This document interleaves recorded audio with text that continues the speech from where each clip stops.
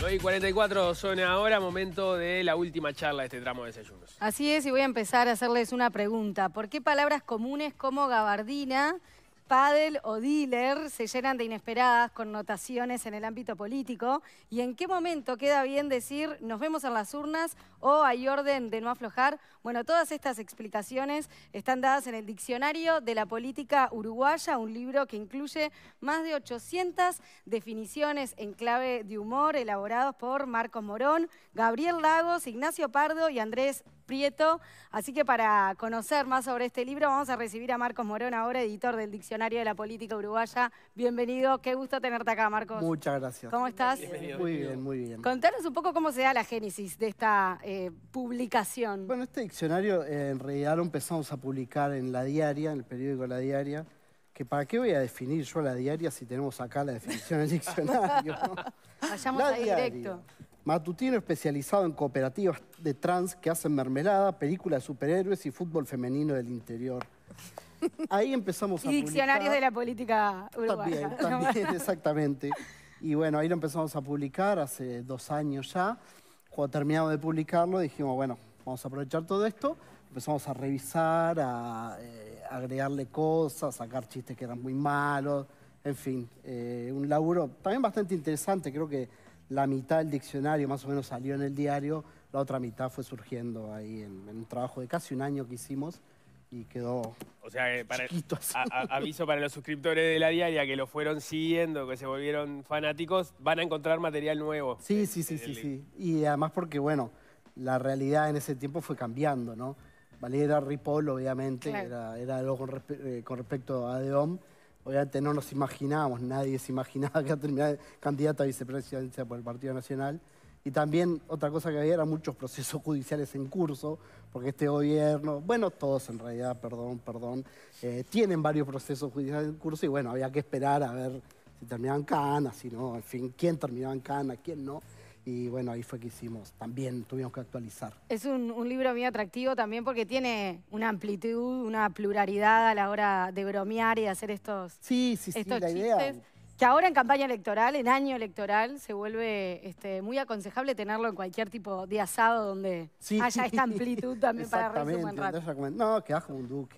Tenés una de estas y La quedás verdad como un que... duque. eh, Pero sí, la idea, la idea sí era pegarle a todo el mundo, no por una cuestión salomónica, ¿sí? sino porque para mí el humor es como, es una perspectiva, ¿no? Entonces, así como ustedes periodistas dicen, no hay temas donde no se toca, no dicen a esto no, a este no le voy a pegar, a este sí, ustedes no, hay otros que sí, ustedes no, claramente, eh, bueno, hay que meterse con todo, porque es una perspectiva. Y en eso de meterse con todos, haces eh, definís a un montón de políticos uruguayos. Después capaz que compartimos alguna, pero ¿ya te llegó algún palo o algún comentario de alguien ofendido? No, no, creo que eh, creo que nadie, la gente que se ofende no lo dice porque tienen miedo a quedar como unos amargos. Entonces la gente dice, eh, no, me reí, me reí. Otra vez lo escuché a Javier García diciendo, no, me encanta lo que me comparen con el señor Burns, no sé qué, es un genio el que lo hizo.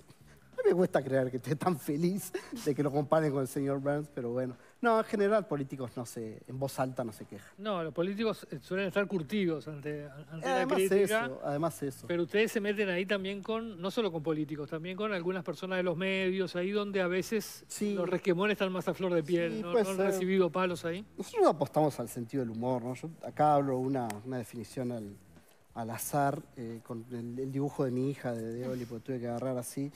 Watergate, novela ambientada en Estados Unidos durante la presidencia de Nixon, fue creada por Leonardo, Leonardo Havercorn Oh, para demostrar en sus clases el valor y la maravilla del periodismo. Se ríe, el hombre Se buscó, porque cuando llegamos Leo fue directo a buscar su nombre a ver qué definición había ahí. Claro, con miedo, con cierto miedo. Claro, con cierto miedo. Pero no, hacemos esto Estaba, estaba metido por para ahí. agarronear, lo metemos ahí bien. medio canuto. Está bien. Eh, a- eh, ahí, ahí hay una, una definición de no sé cómo, cómo es que lo, el- concebís el. ¿No estaba batalla metido por ahí? No, no, no, no, no. No, Hay que hacer una nueva Hugo, que es tu edición. padre, era tu padre. Eh, Hugo Batalla, claro. tu padre. Hermano Padre de. Nico Ah, Batalla, ta, ta, parece. ta. La, la de Hugo Batalla yo la leí porque estuve viajando hoy, me pareció un poco injusta en el sentido de que, bueno, tienen que ser breves, ¿no? Sí. Hay una apuesta a la brevedad. Sí, sí, sí. Porque la de Batalla me pareció que hacía el, el- el- el énfasis en el capital político que, que- que dilapidó, cosa que es real, Sí. pero antes lo acumuló, cosa que no decía, digamos, Sí. ¿no? Bueno, No, acá lo pasa. Obviamente siempre el humor también me parece, es reírse de que está en el piso, ¿no? Claro, no, y, y del Oh. momento que provoca la risa, obvio. Claro, porque una persona esquiva una cáscara de banana, no es chistoso. Claro. Chistoso que se patee y se va a mierda. No, y aparte tiene que haber un juego de, de- que sea breve, digamos. que- sí, que también, rápido, también. ¿no? Sí, sí, sí. El No humor en general tiene que ser Un lo más conciso posible. ¿Cómo, cómo es el, el laburo a la hora de, de- de- de armarlo? Me imagino, por un lado, que bueno, que cada uno lo, hace de man- lo hacía de manera individual, pero también me imagino que estaba ese proceso de revisión, de discusión, este es bueno, este es no. Eh, capaz que alguna forma de, in- de- de- de- de- de inspirarse para sacar las ideas, para escribirlo, ¿cómo, cómo funcionaba eso? Sí, también, también. Este, cuando lo publicamos en la diaria, no, porque bueno, era de una semana para otra y cada uno laburaba en su casa. Después, una de las cosas buenas que tuvo el, el proceso este que fue que pudimos revisar muchas cosas. Entonces nos juntábamos, eh, generalmente en horario nocturno, porque todos trabajamos. Este, esto no es un trabajo, obviamente. Eh, y sí, leíamos todo, revisábamos. eh, discutíamos, no, no es que se no es que se picaba la cosa, pero bueno, hubo, hubo un laburo ahí que se hizo de, de mucho, eh, que se fueron afinando las cosas.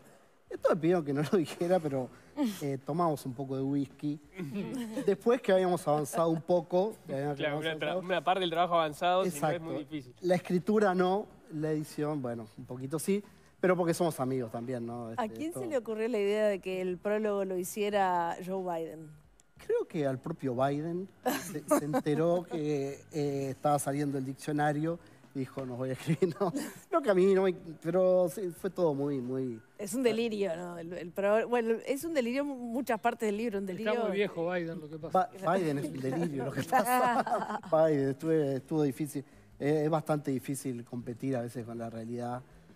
Un tribilín en un acto eh, era difícil de imaginar. Es bravo competir con eso. Y bueno, con Biden, presidente de Estados Unidos, que no se acuerdan los nombres, también un poco. Va a entrar Tribilín en una próxima edición. Seguramente, seguramente. Pero Bueno. ese es el tipo de cosas. Blanca Rodríguez, eh, también una cosa más o menos sorpresiva, no entró. Eh, bueno, siguieron pasando cosas, obviamente. Eso de competir con la realidad es difícil, me acuerdo, en- yo creo que hace mucho que no pasa, pero en, en los comienzos de la sección de humor de la diaria, hubo varios políticos que creyeron que cosas que ustedes escribían en humor eran, eran verdaderas. Sí, sí. Y no sé si no ha seguido pasando. Eso Cada tanto pasa. cada Cada tanto, tanto pasa. sucede. Cada el faro tanto. del fin del mundo. Cuando arrancamos era muy frecuente, muy frecuente. Ahora, yo creo que Ya está más instalado que... sí, eh, un poco eso, pero además creo que algo bueno que tuvo todo este auge de las fake news y todo eso, porque tal, la gente empezó a, a ver un chequear poco un más, poco. a chequear un poco. Eh, pasó hace poco, no vamos a decir quién, pero es muy, muy frecuente. ¿Qué- ¿Cuál, cuál ¿Qué? fue el, el equívoco? Y era un chiste de Orsi que había, un supuesto chiste, lo escribí yo, eh, había ido a la rural, entonces, bueno, su conclusión era- había sido que eh, el Hereford tiene cosas buenas, pero el Angus también tiene cosas buenas, entonces tampoco cuestión de decir, porque si empezamos a decir, no, el Angus es mejor, el Hereford es mejor, eso genera división entre los uruguayos, entonces hay que hacerlo, y bueno, una... Y alguien lo creyó. Alguien de Cabildo Abierto, no lo vamos a decir. ¿Para qué? Eh, es, es, eh, es muy tentador este, leer, leer varias definiciones, ¿no? Por ejemplo, juventud partidaria, guardería para los hijos adolescentes de los dirigentes. ¿Qué- cu- ¿Cuál es el, el escenario en el cual se imaginan que la gente lea el, el- el diccionario? Porque no, no es un di- no es algo con lo que lo agarrás y lo lees como si pusieras una novela, ¿no? No. O sea, hay, hay- me imagino muchos escenarios posibles Sí, cuales esto varias personas lo dijeron, varias personas en el baño, En el baño, porque sí, es como lugar, claro. lo puedes agarrar y, y leer así este, por, por partes. Pasa, el celular ha competido contra el revistero. de Claro, esto es, esto es una vuelta a lo analógico, digamos. Lo hicimos por eso, en realidad, para, para, para hacer que la gente esté más conectada con lo analógico. Eh, pero no sé, después sí, Bondi, o sea... Oye, creo que nadie lo lee así de, De corrido. principio a fin. No, no, no, no, no. Eso por ahí es interesante porque también después vas buscando a ver cuáles te quedaron, ¿no? Pero sí, es para leer eh, de a poquito, episódicamente. Contaros alguna de las que más gracias te dan a vos. A ver, Eh, ¿Cuál destacás? capaz que, para que no piensen ¿Cuáles son tus que- preferidas? Y sentí que está buena, ¿no? No sé si la leyeron, pero... Para, Para mí la de Cristina Fernández era muy buena, Perón también. La Todo, todo el capítulo de Argentina me, me dio muchas gracias. La podemos leer también, mira. Sendik Raúl, hijo, ex vicepresidente que logró convencer a la izquierda de que era licenciado en genética humana, buen administrador y un gran posible candidato a la presidencia. Se trata de uno de los casos más claros de la historia uruguaya de talento para el engaño desperdiciado. y Cristina también, a ver. Nos convenció a todos que era licenciado, no solo a la izquierda. Sí, Sí, nosotros- sí, sí, sí. También Otra sorpresa, nadie se lo vio venir, ¿no? Ahí te das cuenta que alcanza a poner leak antes de tu y ya está. Ya soy licenciado, ¿no? Mientras buscas a Cristina, yo te leo, por ejemplo, la definición de fuero, Sí. que es el pegamento para bancas. Nada mejor explicado que la palabra fuero. Es espectacular. Y esas cosas que a ustedes por ahí se les ocurre, pero no la pueden decir, los humoristas la dicen. Vamos a empezar a traer este libro para, Sí, para tenerlo a mano. Me encantaría, me encantaría. Pará, me quedó porque yo tengo problemas con el alfabeto. Está por Fernando, ¿sabes? Está por Fernández. FG. E. Fernández. Fernández Cristina. Expresidenta argentina, viuda del expresidente Néstor Kirchner y conductora del kirchnerismo tras la muerte de este.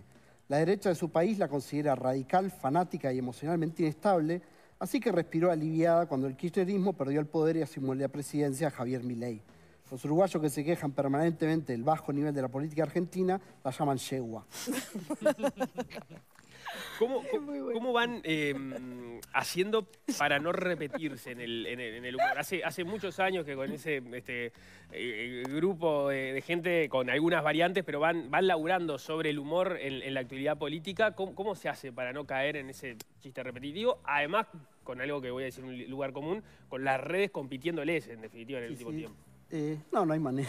no hay manera de. Vos sentís que te- hace No, 10 sí. años que te venís repitiendo. No, más o menos eh, cuando estás, depende también del tiempo, digo, eh, cuando nosotros publi- bueno, yo publico una columna diaria, esto lo publico con los corredores los sábados, y cuando tenés tiempo, tenés tiempo de buscarle la vuelta, digamos. También es un poco de oficio de, de decir, bueno, está, esto ya lo hice más de 20 veces, voy a seguirlo laburando un poco hasta buscar una vueltita más interesante. Y con el diccionario, con esto que te decía, que tuvimos mucho tiempo para, para laburarlo, eh, ahí sí pudimos tranquilamente agarrar esto y esto no está bien, esto no está bien. Vamos a buscar una vuelta, vamos a buscar una vuelta más interesante. Y un poquito más interesante, no mucho. Muy bien, Marcos Morón, editor del Diccionario de la Política Uruguaya. Muchas gracias por venir y a la audiencia ya saben que tienen esta joya para compartir. Se van a divertir seguro. Gracias. Seguro. gracias. Gracias. Bueno, nos vamos.